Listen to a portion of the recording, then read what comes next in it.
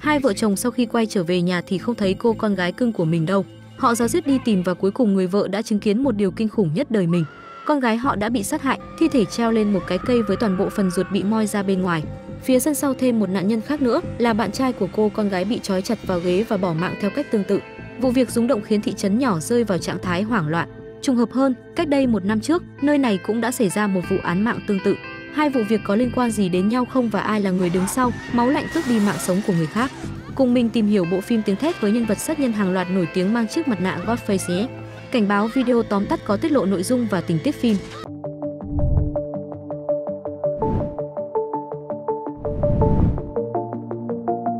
Nữ sinh trung học KC lúc này đang ở nhà một mình thì chuông điện thoại bàn reo lên.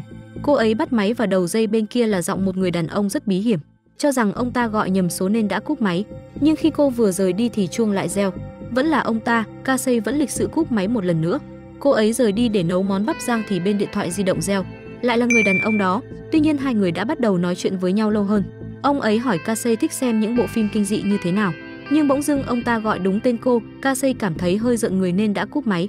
Ông ta gọi lại và đe dọa Casey nếu còn cúp máy thì sẽ phải bỏ mạng. Dường như người đàn ông này đang có mặt tại ngôi nhà nên nhìn thấy được mọi hành động của Casey. Cô dọa hắn rằng bạn trai mình sắp đến nhưng lại không biết anh chàng đang bị trói chặt vào ghế ở sân sau. Hắn nói muốn chơi trò chơi với cô, hắn hỏi và cô trả lời. Nếu đúng thì bạn trai cô được sống, nhưng đến câu hỏi thứ hai thì Casey đã trả lời sai. Bạn trai cô lập tức bị sát hại, sau đó hắn ta ném một chiếc ghế phá toang cánh cửa, lao vào tấn công Casey. Cô gái tìm mọi cách để trốn chạy và thoát ra được ngoài sân, nhưng vẫn bị tìm thấy. Gã đàn ông bí ẩn mang một chiếc mặt nạ trắng cùng với áo choàng đen, trên tay luôn lăm lăm một con dao. Một lần nữa, Casey vùng bỏ chạy thành công, ra đến ngoài sân cũng là lúc cha mẹ của cô về. Tuy nhiên, vẫn không kịp để Casey kêu cứu, tên sát nhân đã tóm được và đâm liên tiếp nhiều nhát vào cô. Cha mẹ Casey vào nhà không thấy con gái đâu, nhà cửa thì tan hoang nên lo lắng đi tìm. Cuối cùng là phát hiện xác của cô con gái đang bị treo trên cây. Sáng sớm, cảnh sát và phóng viên đã tụ tập xung quanh căn nhà. Sydney và Tây từng là bạn thân của Casey, vô cùng bàng hoàng khi biết tin. Mọi người trong trường truyền tai nhau về cách thức gây án tàn bạo của tên sát nhân. Cảnh sát đến trường để điều tra, Sydney cũng được gọi vào để trả lời vài câu hỏi. Cả thị trấn lúc này rất náo loạn khi vẫn chưa thể biết được hung thủ là ai. Sydney quay về nhà, bật TV lên thì toàn thấy nói về vụ án này. Có một bản tin nói vụ việc này giống với vụ án xảy ra một năm trước. Một người phụ nữ bị hãm hiếp và sát hại rất dã man. Đó chính là mẹ của Sydney. Cô buồn bã khi bị gợi lại ký ức đau thương.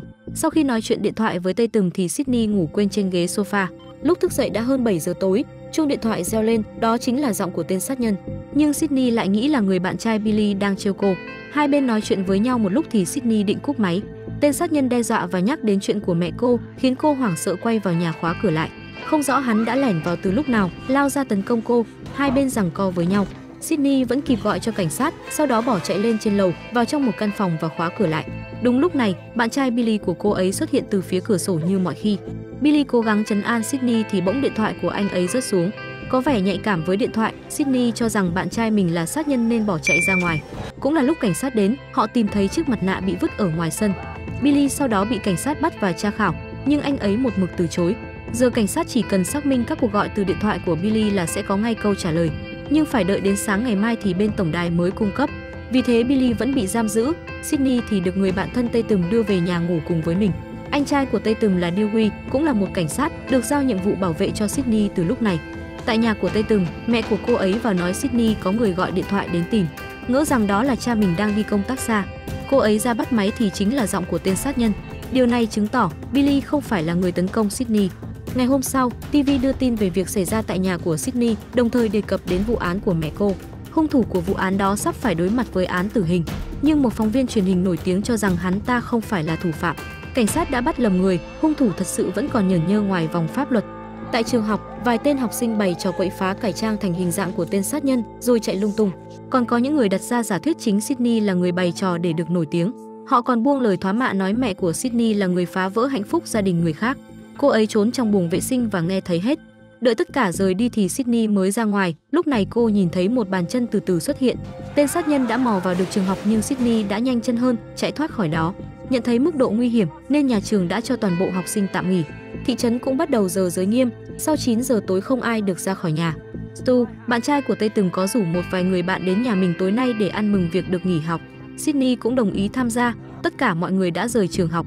Chỉ còn lại mình thầy hiệu trưởng và ông ấy đã trở thành nạn nhân tiếp theo. Cảnh sát lúc này đặt nghi vấn về cha của Sydney khi đến giờ vẫn không liên lạc được với ông ấy. Thêm vào đó, ngày mai chính là tròn một năm vợ ông ấy bị sát hại, có thể đây là một vụ trả thù. Tối đó, tiệc được tổ chức tại nhà của Stu. Dewey vẫn tiếp tục phụ trách giám sát tại đây. Cánh nhà báo biết thông tin cũng đã xuất hiện, hy vọng sẽ bắt được thông tin sốt dẻo. Vì hết bia nên Tây Từng xuống dưới nhà để lấy thêm. Tại đây, cô ấy đã đụng độ tên sát nhân. Ban đầu còn tưởng là anh bạn trai hù dọa, nhưng đến khi hắn cầm con dao ra và rạch một đường dài lên tay Tây Từng thì cô mới sợ hãi. Tuy vẫn kháng cự, đánh ngã được hắn, nhưng vì không mở được cửa nên cô đã cố gắng thoát thân bằng lỗ chó rồi mắc kẹt ở đó. Godface khởi động công tắc, cánh cửa từ từ đi lên ép chết Tây Từng.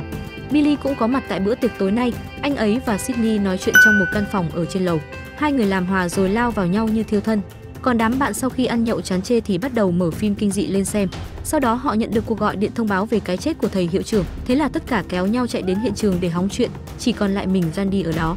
Cùng lúc này, anh cảnh sát Dewey sau khi được cấp trên yêu cầu đến một hiện trường tai nạn xe gần đó để xem xét tình hình, đang đi cùng với nữ phóng viên Gale thì phát hiện ra chiếc xe bị tai nạn đó chính là của cha Sydney. Dewey lập tức quay trở lại căn nhà của Stu. Sydney và Billy sau khi xong chuyện thì lập tức bị tên sát nhân tấn công. Billy bị hắn đâm nhiều nhát, gục ngay tại chỗ. Sydney chạy được ra đến ngoài sân, cầu cứu anh chàng quay phim đi cùng Gale, nhưng chưa kịp thì anh ấy đã bị cắt cổ.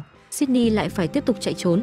Dewey đã về đến, nói Gale hãy gọi thêm lực lượng cảnh sát đến hỗ trợ, còn mình vào trong để tìm Sydney. Gale nhìn thấy xác của đồng nghiệp trên nóc xe nên hoảng loạn lái xe rời đi. Bất ngờ, Sydney xuất hiện ở mũi xe làm cô phải bẻ lái, khiến chiếc xe lao vào gốc cây bên đường. Sydney biết có anh cảnh sát ở trong nhà nên đã chạy vào, nhưng vừa đến cửa thì phát hiện anh ấy đã bị đâm một nhát sau lưng.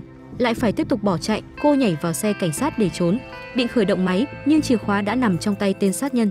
Trong lúc Sydney cố gắng liên lạc với cảnh sát thì hắn cậy cửa sau xe và chui vào. Cô ấy buộc phải mở cửa thoát ra, chạy lại chỗ của Dewey nhặt lấy khẩu súng. Nhưng trước mặt cô lúc này lại là hai anh bạn Randy và Stu, không thấy tên sát nhân đâu. Hai anh chàng bắt đầu buộc tội nhau, nói người kia là Godface. Sydney không còn tin ai nữa nên đã nhốt cả hai bên ngoài. Billy vẫn còn sống và khó khăn đi xuống dưới lầu. Anh ấy nói Sydney hãy đưa mình khẩu súng rồi mở cánh cửa. Randy bước vào và lập tức dính ngay một phát đạn. Sydney vô cùng hoảng loạn trước hành động vừa rồi của bạn trai. Ván bài bây giờ mới lật ngửa, Billy thừa nhận mình là tên sát nhân.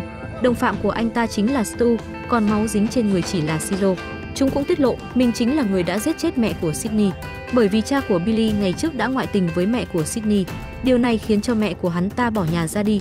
Billy cảm thấy mình bị bỏ rơi nên đã lên kế hoạch giết mẹ của Sydney trước, rồi đổ tội cho nhân tình của bà ấy là người đàn ông đang bị cảnh sát bắt giữ. Một năm sau, chúng tiếp tục ra tay, một lần nữa sẽ đổ tội cho cha của Sydney vì quẫn trí nên ra tay trả thù. Hai tên máu lạnh còn tự tay làm mình bị thương hỏng qua mặt cảnh sát. Đúng lúc này, cô phóng viên Gale xuất hiện với khẩu súng trên tay, nhưng vì quên mở khóa an toàn nên súng không thể bóp cò. Billy nhanh chóng đánh cô ấy bất tỉnh. Định nổ súng giết luôn thì Stu phát hiện Sydney và cha cô ấy đã biến mất. Trò chơi mèo vờn chuột đã đổi chiều, cô gọi điện thoại và đe dọa bọn chúng, mục đích là đánh lạc hướng. Billy đi xung quanh kiểm tra thì Sydney xuất hiện với bộ trang phục Godface, cầm cây dù trên tay đâm hắn ta. Stu lao đến nhưng bị Sydney cho ăn ngay một chiếc bình, sau đó đẩy chiếc tivi lớn rơi thẳng xuống đầu hắn.